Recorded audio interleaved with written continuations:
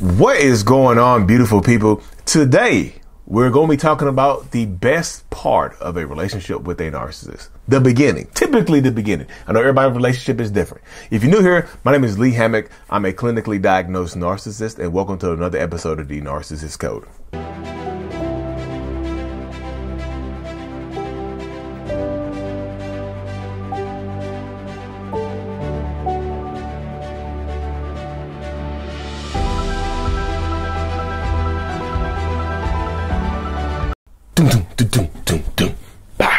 That's that uh what's that beat? Uh I can feel it calling in the air. Now I'm joking. Um uh, uh yeah, yeah, yeah. Yo, as you most of you might know, relationships with narcissists typically go in reverse. They re- they really really do. And this is what I tell a lot of people like relationship with a narcissist typically start off at the peak. You know, I was doing a Zoom call with the woman the other day, right? And I was telling her, I gave, I kind of gave her this same example right here. I say, I like the beginning of a normal relationship, a relationship with a non-narcissistic person typically starts off at the bottom. Like if you're climbing a mountain, then this is called, it's like Everest, but it's the mountain of love. Love, eh, look, the Everest of love. So, um, so typically when you meet each other, you're starting to climb this mountain together. Yes, there, yes, there are going to be pitfalls and ups and downs, highs and lows, but you're climbing this mountain together. You're climbing, you know, you're going to hit different base camps on the way up there. The first base camp is uh, saying I love you. Second base camp is meeting the family, whatever it is. You know, third base camp is engagement, living together, married. Base camps on the way up, right?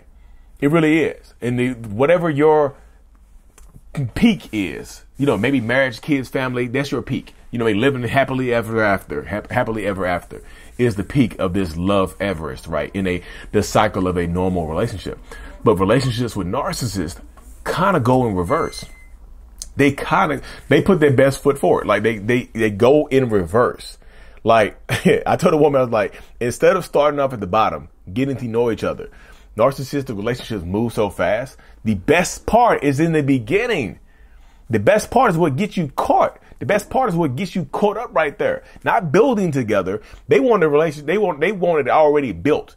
So instead of starting off at the bottom of this love mountain, it's damn near like you get helicoptered, uh, to the top of it and you, you get let off at the peak. You know, in relationship with a narcissist, you get let off at the peak. You start off at the peak. It is all downhill from here.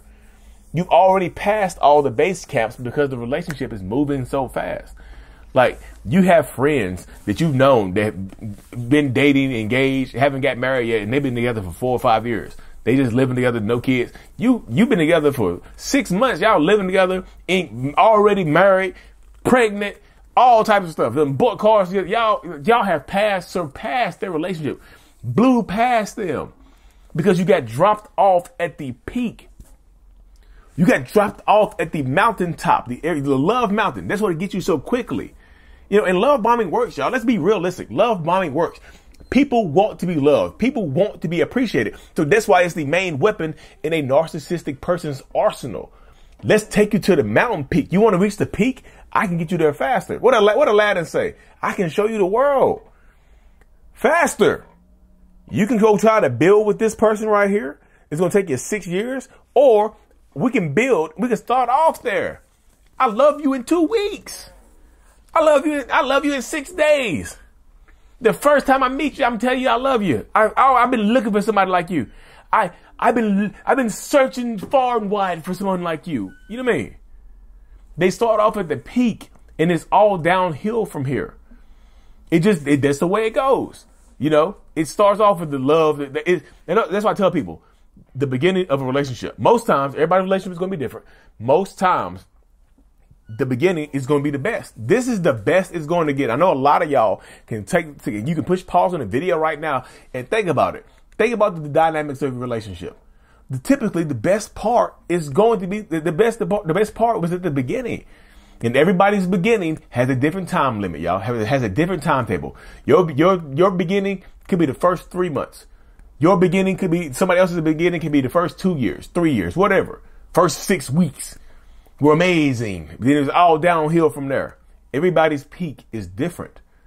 Even like I said, even when you're climbing the mountain, even when you're in a normal relationship, your peak is going to be different. Whatever your mountain peak is, it's going to be different. But that's what narcissists do right there, y'all. They ask you what your peak is. They figure out what your peak is. You know, typically, what are you looking for? To, what are you looking for in a significant other? What do you? I mean, what's your goals for dating and relationships? I know those are normal questions, but narcissistic people ask them with insidious intent. Those are normal questions, right?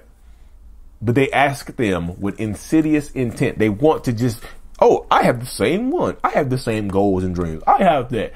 Or they tell you what you want to hear.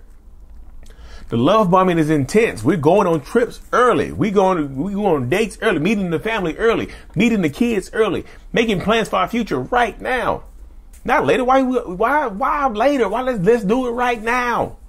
Why we gotta wait till later? Let's do it right now. Right meow. Right meow. Let's do it like that. But that's the mindset of a lot of narcissistic people, y'all. That's how we operate. We know we gotta put our best foot forward. We have to. You know, we have to put our best foot forward. Y'all know what I say? I know what I say the peg leg. Narcissistic people put their best foot forward, but it's not it's not even a real leg, it's a peg leg. You know it too. You find out. You find out later on. It looks like a real leg. It feels like a real leg until they until they roll with it. Roll. Why you always wearing pants? And you ask them like, why you always wearing pants? And uh, like it's night. Look, hey babe, I gotta ask you this. It's 117 degrees, like the hottest it's ever been. Why do you have on three pairs of pants.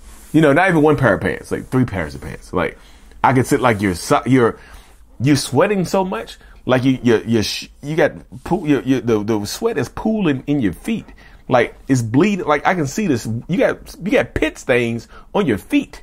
I can see I can see how your feet are sweating through your shoe.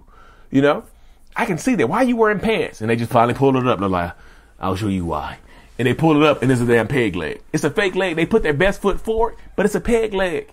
And once you see that peg leg, they can finally be them. I can finally be me. I'm so happy you see the peg leg now. So let me take the love away. Let's go downhill. Let's go downhill. And I tell you, I, I say the narcissistic person, they like being at the mountain peak, y'all. Narcissistic people are chasing peaks. They're chasing mountain peaks. That's why they go from, they, they look so happy in a new relationship. They're already given a new supply, everything that I wanted and needed and asked for. You know, everything I begged for, they're already giving them. That's a peak. That's how you get to the peak with somebody else. They're peaking. You're seeing the next peak. You're still like, you, you can see them on the peak too because you're watching. Look, you, you're watching their lives, right? You're watching their life. You're looking through your little binoculars. I tell people to turn off the narcissist TV, but you don't turn the TV off. You're looking through your little binoculars, your little, your little empath binoculars. You're looking at them. You see them over there on the mountain peak dancing and have, getting married, having kids early on. You like, that was, that used to be me. Damn it. They look so happy. What y'all actually seeing is them on the peak. Like, damn, they, that, that mountain looks, it looks amazing over there. I missed that. I missed when we had a mountain. No, you're watching them love on somebody else. Narcissistic pe- people are peak chasers. They're chasing the peak. They're chasing that hit of dopamine that they get. The love bombing phase releases a lot of dopamine for both people. But narcissistic people need a consistent hit of dopamine. That's why they always are seeking validation and attention from other people, other entities and whatnot, especially online and things like that. Dating apps, you know, that's why they, that's why you see a lot of narcissists cheat. You know what I mean? Narcissistic people, this crazy thing about it is, they can try to take multiple people to different peaks at the same time. You know I said? The relationship goes in reverse. And I'm gonna be real with you. Once they love, like once you start, once it starts going downhill, it goes, typically goes downhill really fast because you know, downhill, things pick up steam. You push a ball downhill, it starts to roll. And yeah, it might, you might hit a peak, you might hit a, like a little valley or whatever, and the rolling slows down and it stops and you try to look, you try to, it, once it stops, it comes to a standstill for a little bit, you're like, okay, things are back to normal for a little while.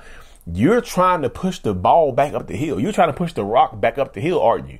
You're trying to get it back to that peak. You missed that peak. You want the peak again.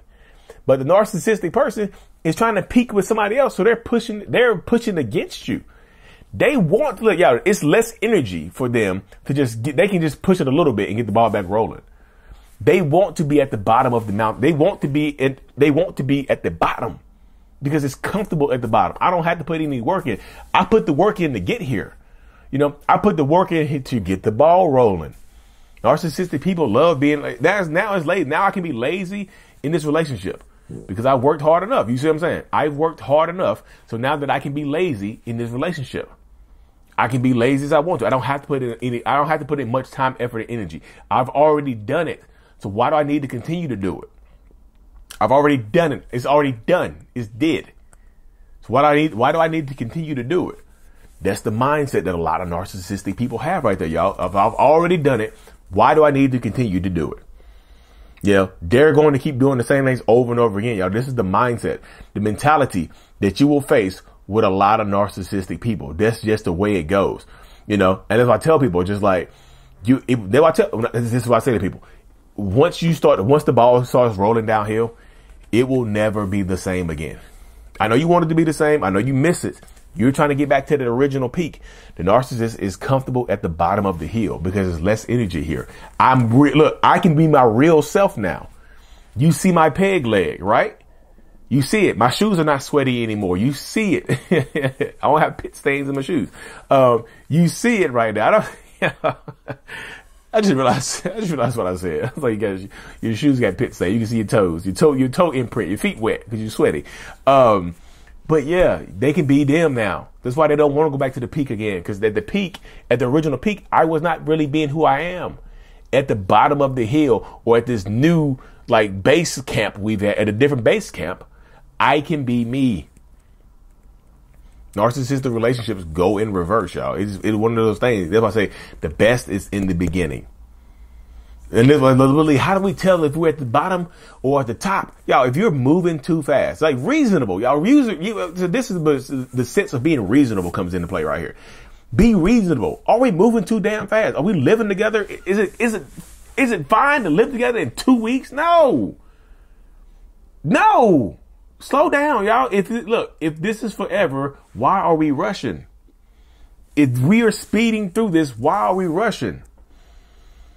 you know, slow down, reasonable expectations of time and set boundaries. Do you really know this person? Ask yourself, do you really know this person? Is this actually sustainable? Is this sustainable? You know what I mean? If is this sustainable? If this is not sustainable, am I okay with it not being sustainable? Am I okay accepting less? Because to be in a relationship with a narcissist, you have to be okay with accepting less. That's crazy, ain't it? You have to be okay with accepting less than what you deserve. A lot of people ask me, how do I be in a relationship with a narcissist? You have to be okay with accepting less than what you deserve. It gets way deeper than that. Of course, I can do another video on that, but that's the simplistic way of putting it, y'all. Anyways, y'all, thank y'all for tuning in. Make sure you subscribe to my newsletter, uh, my email list. Like I said, I'm about to drop my first course slash video series slash. It's got a community along with it. Um, it's coming out here pretty soon. Uh, it's called the seven under, understanding the seven stages of a narcissistic relationship from the perspective of a diagnosed narcissist. Newsletter link is in the description and uh, description of every video and podcast that I do. Hit that five stars on Apple and Spotify. Thank you so much. Until this is out. Peace. Thank you so much for making it to the end of my video. You are a mental healness rock star and I appreciate you for being here. If you haven't already, make sure to click on the screen to subscribe to the channel and watch another one of my videos in my playlist. There's also a link available up here for you to purchase my kids book. Remember, it's not your fault on Amazon. So check that out. Thank you. I will see you in the next video. Peace.